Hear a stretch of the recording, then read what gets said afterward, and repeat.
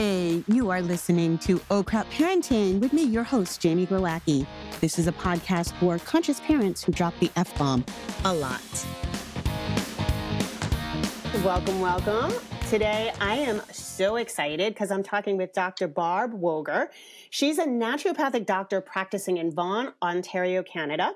And her cl- clinical focus is women's health, stress management, and inflammatory conditions that about covers it all, right?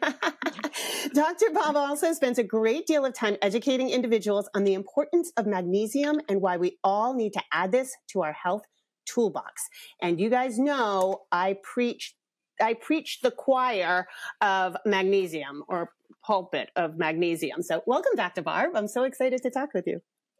Thank you for so much for having me. And I am always excited to talk about magnesium. So. Yay! All right, let, let's jump in. First of all, um, let's talk about the types of magnesium. So, my intro to magnesium was about, I don't know, 10 years ago. I did like perimenopausal blood work, and my naturopath called me and she was like, You can't be pooping. You cannot be pooping. You are so low on magnesium. And I was like, what? No, I poop fine. And she told me to like go get um, a liquid form and she was like, drink it. Just drink it. Don't even dose it. and so I was yeah. like, oh, and then instantly I felt like just all well rounded better, you know? Right. So, and I didn't, I was unaware that there are types at the time of magnesium. So let's run through the types of magnesium and start there. Yeah. So the types of magnesium or forms of magnesium are really, really important because if you're looking to achieve a certain outcome and you use the wrong form, you're not going to probably be very successful. Um, so there are I think 17 or 18 different forms, but we're going to talk about the most common forms that you can actually purchase, you know, off the shelf in a health food store, grocery store, pharmacy, those kinds of things. Um, the other magnesium forms are more reserved for medical fields and stuff like that. So probably my favorite one is bisglycinate or glycinate. It's the same thing. Um, this is a form of magnesium that is really well tolerated.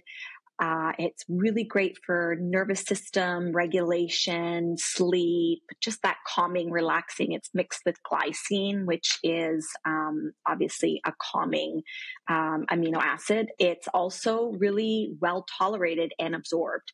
So it doesn't require stomach acid. So it's good for people who can't absorb their their nutrients very well. So people who have GI issues, Crohn's, colitis, those kinds of things. Um, and so this is probably what I call an all around form. So if I want to deal with several different things, I'm headed towards that form. Um, then there's citrate. So citrate used to be like the most common one before glycinate came right. on the scene. And citrate is more I use it more for digestion, so constipation, GERD, uh, acid reflux. There's some research for migraines, and I have used it for migraines um, at a certain dose, six to 800 milligram, uh, milligrams, which is kind of what's in the research. Um, but I mainly reserve it for digestive um, issues. But it was it was there for sleep, and it was there for stress reduction, and all of that. And they still have some products that you can use at night to help with sleep that are based from citrates. So there's that one. Like natural calm. That's probably one. Yeah, right? natural calm yeah. is a citrate. Yeah. Okay. Yeah. So and that's just a powder and and that's more for sleep, right? So and stress reduction. Not probably my first go-to if it was just a stress picture. Um, then we have malate. So malate is really great for patients that suffer with energy issues, uh, chronic fatigue, fibromyalgia, um, you know, tender points, muscle aches, joint pain, all of that kind of stuff. Um, but it's it's really great for energy as well because malic acid is in that Krebs cycle, so it's going to help um, improve energy. So I like to give it to chronic fatigue patients or patients that just don't have a lot of energy mm. um, reserves, and it's also really great for removing heavy metals from the body. So like aluminum and stuff like that. Oh. Um, yeah, so we use it for that as well. And if you were to use um, it for removing heavy metals, would you need a binder? You would always need a binder. Always yeah, need for, a binder. Okay. For, yeah, yeah, because you need to actually get it out. Hold on to that and get yeah. it out, right? So yeah. um, let me just have you. What's your favorite binder? Oh, it depends too on the situation, but sometimes I will use charcoal. Just charcoal. Um, yeah. I'm like that's probably the easiest and um, best and most tolerable. Some people use bentonite clay, but I find people have issues with bentonite clay, like mm-hmm. GI issues. So I usually stick with charcoal, would probably be my my top one. Yeah. Okay. Cool. Um, and then we have L-threonate, which is um, kind of a newer magnesium on the block. Um, it's more cognitive, brain health, uh, mood, anxiety, depression, ADHD. All of these things are are really falling under this uh, form of magnesium. It's really special in that it actually crosses the blood-brain barrier, and we know this. Now, there are some other forms that cross.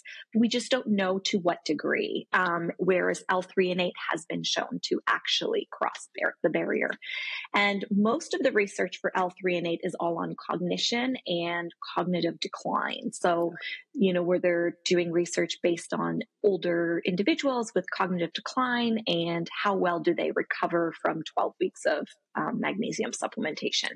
And so what they were able to find was a lot of the times we were able to reduce cognitive age by nine years. So it's pretty significant. Whoa. Um, yeah, That's huge. Yeah.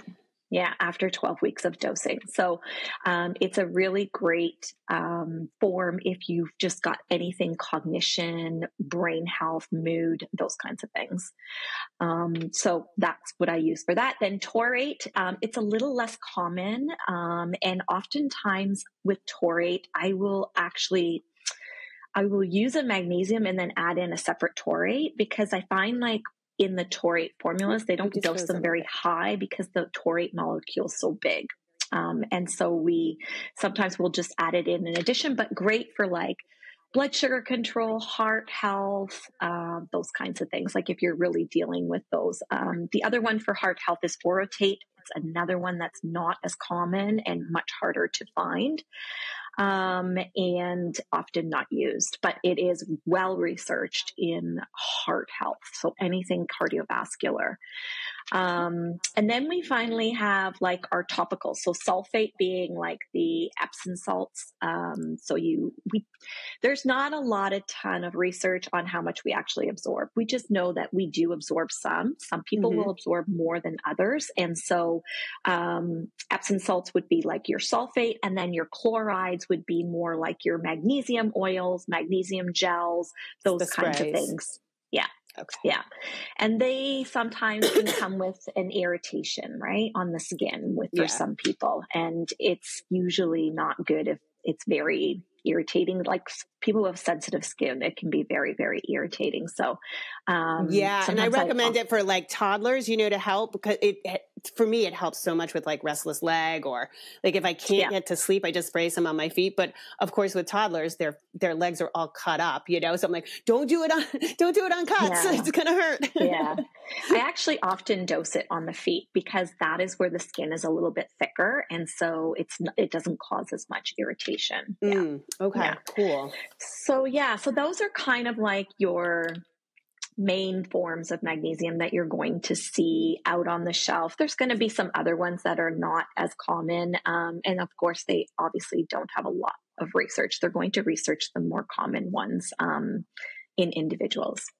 And now, do you think it's better um, to try to dose these individually to, to what you need? Or do you think most people would benefit from sort of a a multi magnesium that contains all the forms? Because I've seen both. Yeah. So again, it's whatever you're trying to deal with. So if you've got a constipation issue, using all forms is not going to be helpful for you. Mm-hmm, mm-hmm. Um, the problem with the all forms is there's a little bit of everything. It's kind of like taking a multivitamin, right? right? You're not getting therapeutic doses of any of the multivitamins um, right. and minerals in that. You're getting a little bit of everything. And so the formulations that they have with the different magnesium forms, you're getting a little bit of everything. Now, the other thing you kind of have to watch for on these forms is um, if they're using oxide and if they're using oxide as a form of magnesium um, versus as a buffer. So when you have different forms of magnesium, um, oxide is a small molecule. So you're going to get lots in. So you'll be able to buffer more forms in. Now, some companies will just use oxide as one of the forms. The problem is they don't list how much they use. Mm. So you mm. might buy a form, uh, like a, you know, five or six different forms, but 90% of it is oxide. Ah, uh, okay. And so I, yeah, often, I have no use for multivitamins for that very reason. So it sounds like it sounds like the same, the same deal with yeah, magnesium. I mean, if you want a little bit of everything and you don't have anything really going on, then that's that's that's fine. But oftentimes we're doing things therapeutically, and so we need to kind of get the, the maximum strength of what we want to do. Yeah. Now, would you say like when you use these for specific things, like let's let's just take like citrate, right? So is is constipation because you you are low on magnesium or is the citrate on top? Like you, your magnesium les- levels could be fine and you need an extra. Yeah so constipation is it's a dysbiosis of the gut bacteria right? right. and so what's happening is the gut bacteria are you know not in balance and we also have a slowing down of motility. So when we have this slowing down of motility and we have this gut dysbiosis that's happening, this usually causes constipation. So we do need to work on the underlying problem of the constipation, sure. um, or else it's just going to be a band aid, right? Um, so the motility aspect and the um, gut dysbiosis, they're kind of things that you're working on in the background, but you're using citrate to help along. So citrate is going to bring more water into the colon and it's going to bulk up that stool to make it want to move, especially in a slower motility environment. Um, and so that is what the citrate is doing. And it's going to allow for a easier more efficient, I guess, bowel movement. Mm-hmm. Will it get rid of everything? No. Like it depends. If the stuff is caked onto the inside of the intestinal wall, then that's that's another issue, and we use a different protocol for that. Yeah. Um, it depends, and it kind of you know we often will require like a, a kub x-ray or something like that that will show us kind of okay what does the intestinal tract look like right is it gunked up with poop or like what are we dealing with? Um, and so we we determine kind of what we use um, from what we see on that imaging. Yeah i have to sometimes recommend re- x-rays because parents just don't believe how full a child can be of poop. And you know what's really interesting is people will balk at using magnesium but they'll be on miralax for like years. And i'm like that doesn't make any sense. I'd use magnesium first Yeah, I, I, don't know. Up here in in Canada, we do RestoraLAX. RestoraLAX, right? so, yeah, same thing. Yeah, yeah. Um, so it's automatically RestoraLAX, and you know, and that's great. It's a laxative, um, but your your bowels aren't actually a. You're not dealing with the problem, Right? right? Like, so that never gets addressed. And then the bowels get used to that laxative, right? Yeah. So, um, citrate is an osmotic laxative, but it's not a stimulant laxative. Um, right. And so there's a difference there. And so, yeah, we use citrate kind of to help us get things going. Um, but if they're full, full, full, then we use oxide because that's the only one that you're going to get some of that clearance out of there. Gotcha. Yeah, it's um, it all comes down to the gut, isn't it? It like all comes back to the gut.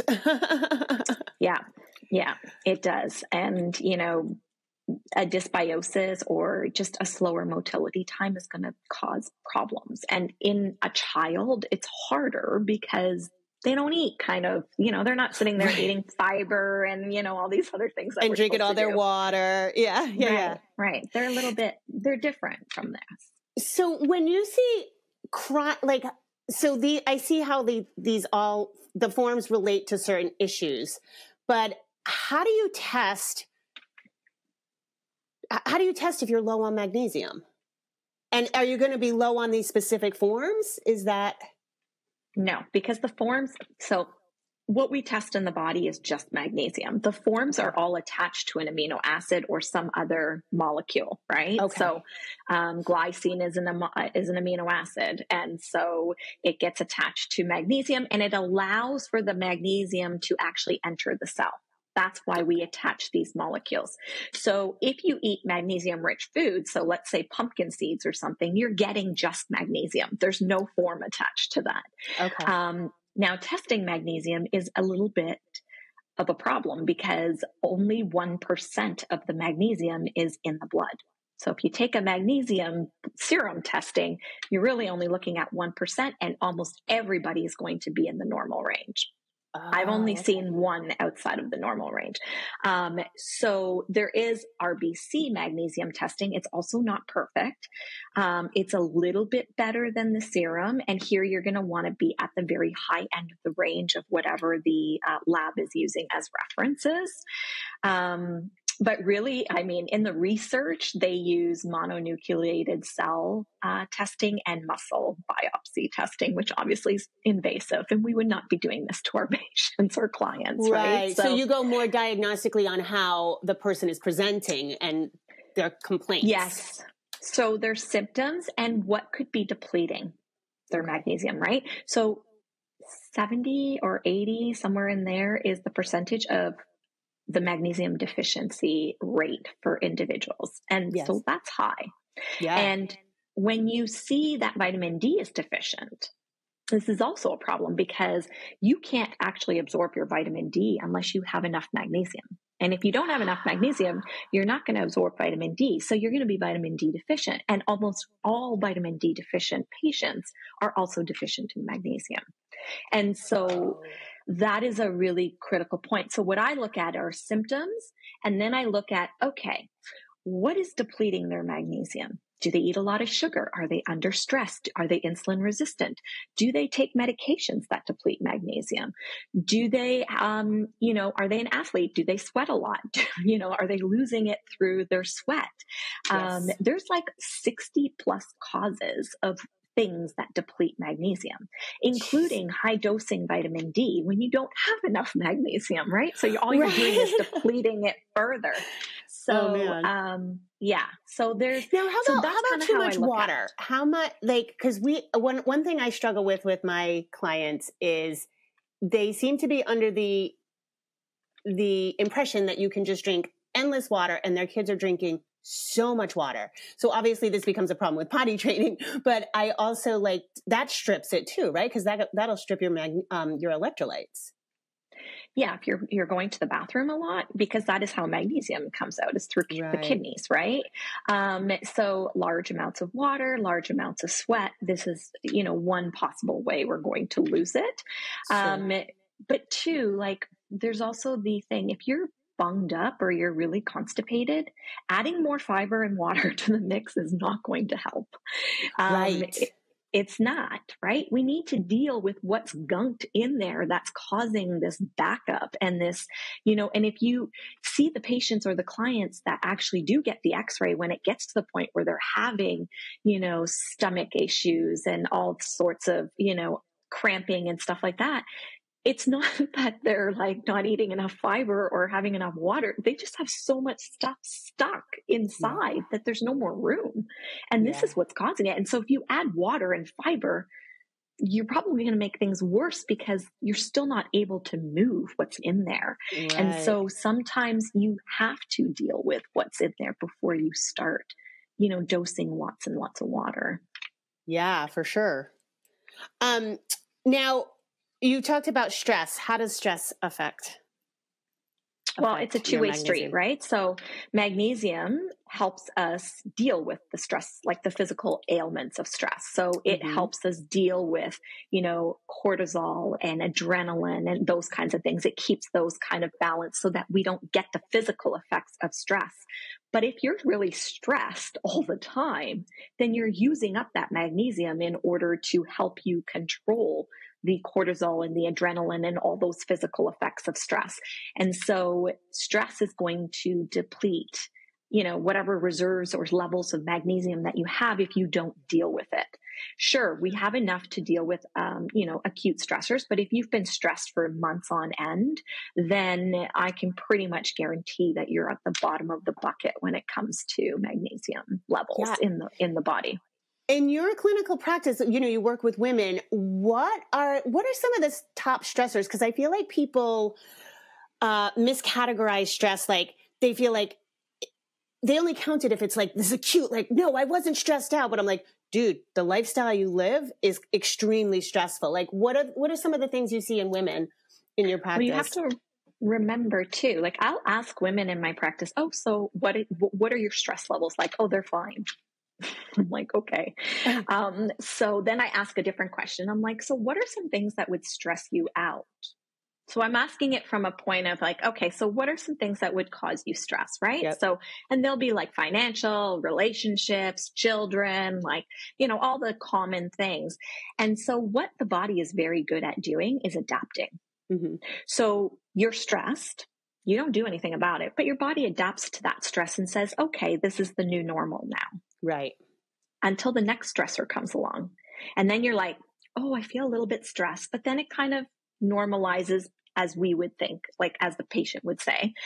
But all that's happened is their body has adapted to this level of stress now right. instead of actually dealing with the stress. So if you're up here and you're normalizing it and your body has adapted to it, you're probably going to answer the question of, I'm not really that stressed. And so you can see how that can then play on that bucket of magnesium that's constantly keeping you here and keeping yeah. you like you know, at your new normal.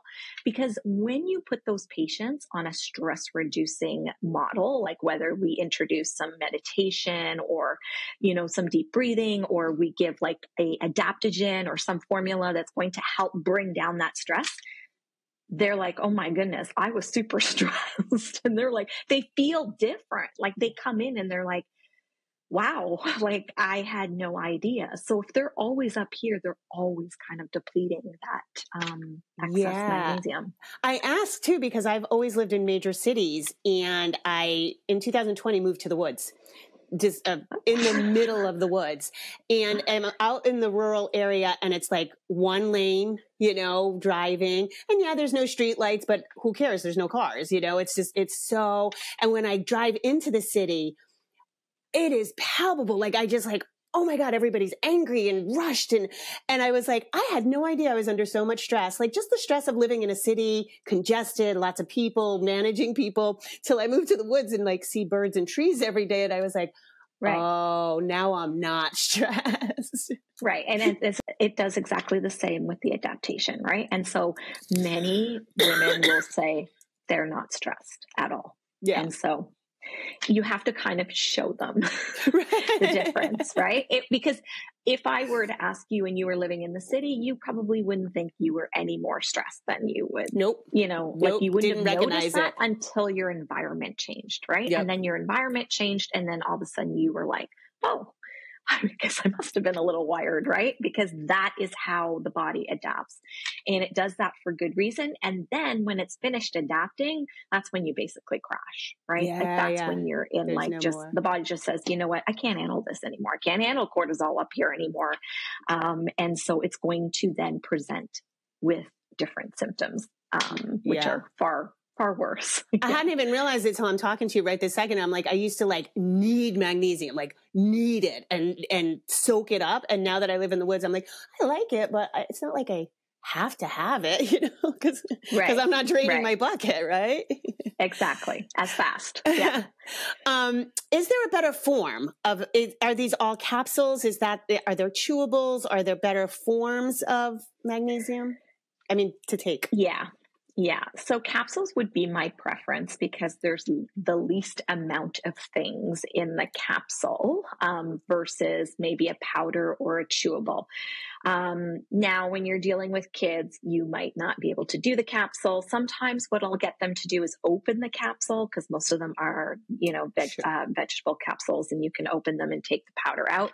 Um, but you have to be careful with some of these chewables and powders because they contain tons of sugar, they contain tons of additives and natural flavors. And, you know, if you've already got a child that's got you know behavioral problems or maybe ADHD or the, that's the last thing you want to be giving them on top of that like you're right. kind of taking one and you know if you're not coming out yeah it's a lateral move right? Yeah like it's just like okay we've just given this kid more sugar yeah. and we're trying to get their magnesium up. So usually what i'll do is um, if i can find a clean powder which um, there are a couple companies that um, have fairly clean powder. They don't taste great. You're going to have to mix it into applesauce or something that they can actually um, take it with.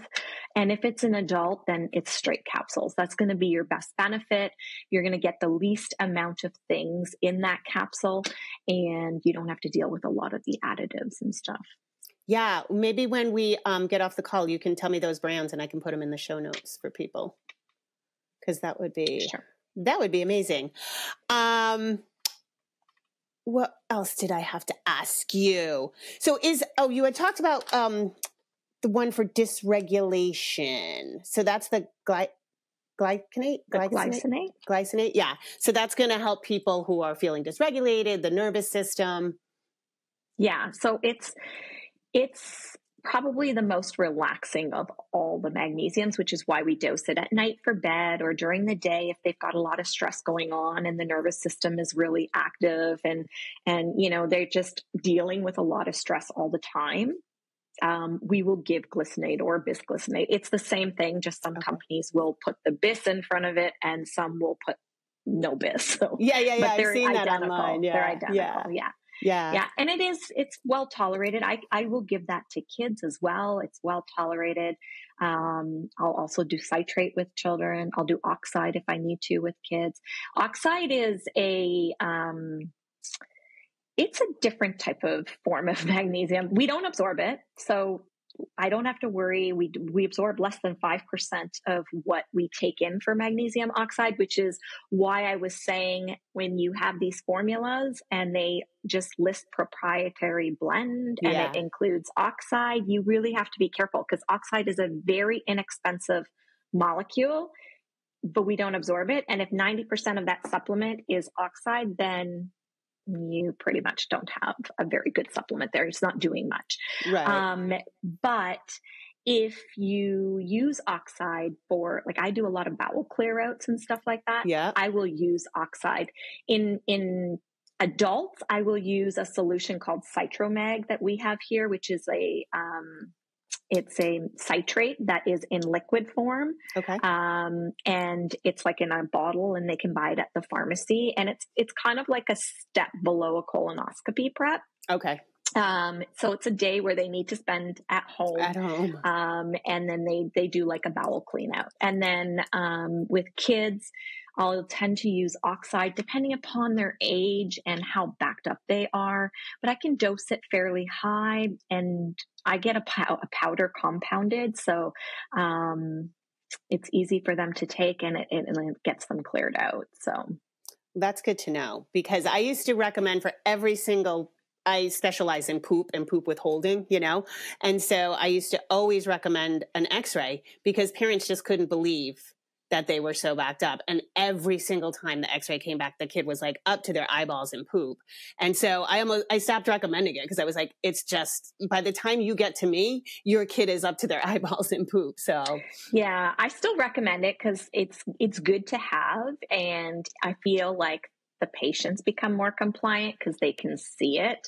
Um, again, some people have a bowel movement every day and they don't think they're constipated and right. or their kid will have some form of a bowel movement and they'll be like oh no no he or she they they go every day and we're fine. And i'm like mm, that's not always the case right? Because we can still eliminate every day but if there's all this gunk stuck in there just kind of builds up and builds up. And so yeah. i still recommend um, and sometimes they're actually going to the doctor and the doctor's just doing it. Um, but i definitely do still recommend um, the x-rays. It's just for compliancy and we can see too how you know, how much do we have to get rid of? like, is it just yeah. a little bit? Is it like, are they full? Like, I find the know? opposite. It's doctors won't, pediatricians won't get, give them a referral. They can't get it. Like they have to really mm. fight for it to, so then they're fighting for yeah. something they don't really want anyway. Right, right. you know, I think it's a little bit easier here. yeah, um, sounds like yeah. it. yeah, yeah. Uh, those were like my pressing questions.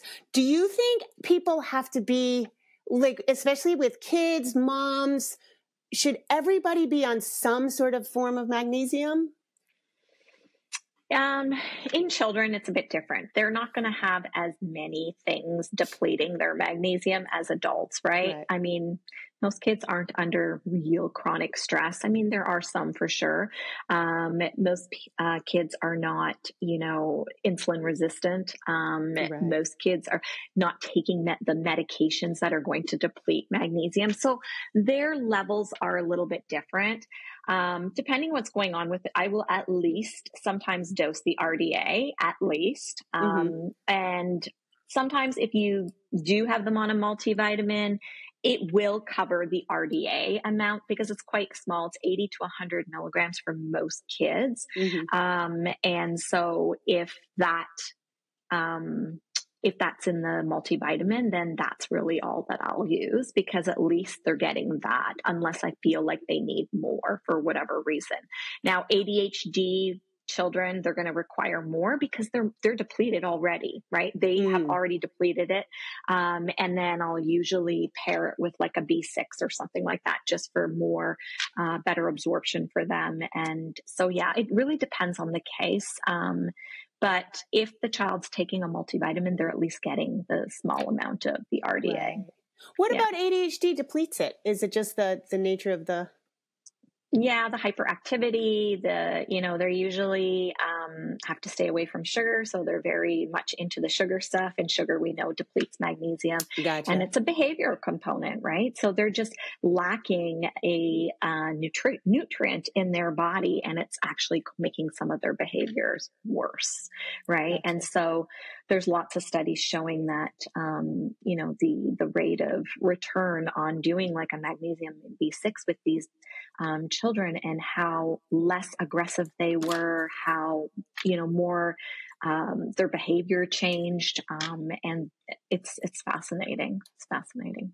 Yeah, it's really fascinating. We're we're just in the heyday of discovery. I feel like it's like the more research keeps coming out, and especially with the gut and the gut brain axis, and it's wild.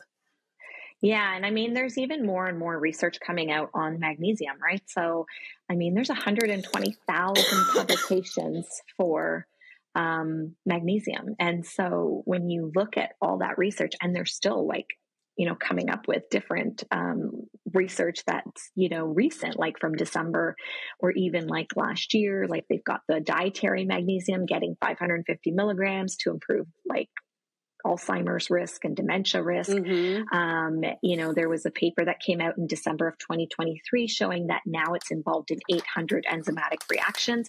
I mean, magnesium is a cofactor or a enzyme for almost everything that happens in your body.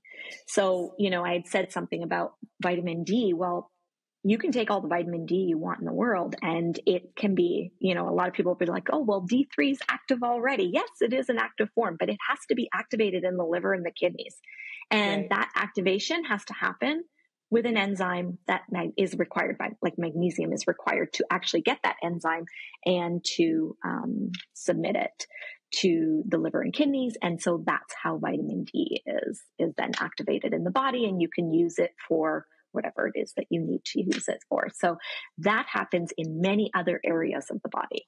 And so if yeah. you are deficient, some of those things aren't working so well, right? And so, yeah. Yeah. It's wild too. We somehow have gotten to this place with our bodies where we just think we can like, into like, I'm just going to take my D3 and my D3 levels are going to go up. And it's like, no, there's all these processes that have to happen. It's such In a background. It's such yeah. a miraculous system. Um, it is. What you had mentioned pumpkin seeds for foods. Are there any foods that people can use? Because I yeah, know that, like, so, I know that, like, our vegetables, like the soil is stripped, so we're not getting quite the nutrients we used to get. We're not, and I wouldn't probably bank getting all of your magnesium from value from food. That is likely not happening um, unless you want to eat tons and tons and tons of plates and plates of leafy greens and and you know salmon and avocado and dark chocolate and all the seeds. Pumpkin seeds is probably your best bet. It's the highest, um, but you would need to be eating a lot of that to actually make sure that you're getting enough magnesium. But you know what? It's still there and it's a great addition. And I'm, I'm never against, um, getting magnesium from food. It's, it's definitely, we can do it. We just probably aren't getting what we need, especially if you're doing something therapeutically. All right. But off the, what you rattled off avocado, salmon, dark chocolate, leafy greens, pretty much the, yeah, the standards, seeds, right? sunflower seeds. Yeah, a lot of the seeds, dark chocolate, I said we mentioned.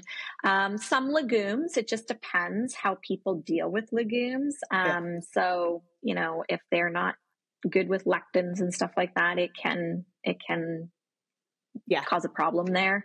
Um, but yeah, it's mostly plant foods. You're not getting magnesium from animal foods most times, except for maybe the salmon, right? Like yep. most of magnesium foods are plant foods. So gotcha. think of eating lots of plants. okay. yeah. Yeah. All right, awesome. Well, thank you so much for your time. Is there anything like that we didn't cover that you feel like needs to be said that that I missed? Not really. Just knowing that magnesium deficiency is so high and probably looking and the thing is with magnesium deficiency symptoms, a lot of them reflect other things, right? So right. A lot of them reflect maybe another health condition. And so this is why we don't actually ever look at magnesium like from a physician standpoint. Um, your doctor, if you go in and you say you can't sleep and you have joint pain and you're like low in energy, they're not going to look at you and go, well, maybe you should take some magnesium. Right. they're going to tell you, oh, well, you know, maybe you got arthritis and maybe you've got, you need an antidepressant because you, you know, maybe you have mood issues and maybe you need to like take more iron. Like there's so many different symptoms that match so many different other, like other health conditions. And so nobody really looks at magnesium status. And so it kind of gets left out. And so, yeah, that's, that's just the way that that well, is. I think and, more and more people are getting hip to the fact that allopathic medicine is just band-aids at this point. Like you really, you know, and it has its place, don't get me wrong, but you know, you do have to see a naturopath or a functional medicine doctor to to get to those root causes. Yeah. Absolutely. You always need to get to the root cause because if you're because magnesium could just be a band-aid, right? Doing the citrate right. for for constipation could be just a band-aid. If you're right. not dealing with what's actually causing that constipation, you're really not doing the whole root cause thing. You're kind of just slapping a band-aid on and saying, "Here, take some magnesium so you can go to the bathroom." Yeah. But people yeah. love their band-aids too, so you have to you have to help them dig, right? Yeah, yeah, for sure. Um, awesome. Where can people find you on social media or website or? Yeah, I am very active on uh, Instagram. That's pretty much my major social media platform, and it's just at my name. So, actor at Dr. Barb Woegerer. Awesome. And uh, thank you so much. I really appreciate your time. This was a super fun geek out on magnesium. I loved it. Thank you so much for having me. Yeah. Okay, bye, you guys. Okay, bye, everyone. Just a reminder if you need additional resources, I have Oh Crap Potty Training. I have Oh Crap, I Have a Toddler. Those books are available everywhere you want to find a book. you can also go to my website, jamieglowacki.com, where you can book private sessions with me, buy any of my courses. Those are really geared towards potty training help. And also, I'm on Instagram. I'm not on Facebook anymore and I'm not on Twitter. I'm on Instagram, jamie.glowacki, and I do a lot of lives and uh, usually posting a lot of good information. So, those are extra resources for you. And as always, rock on. Have an awesome day.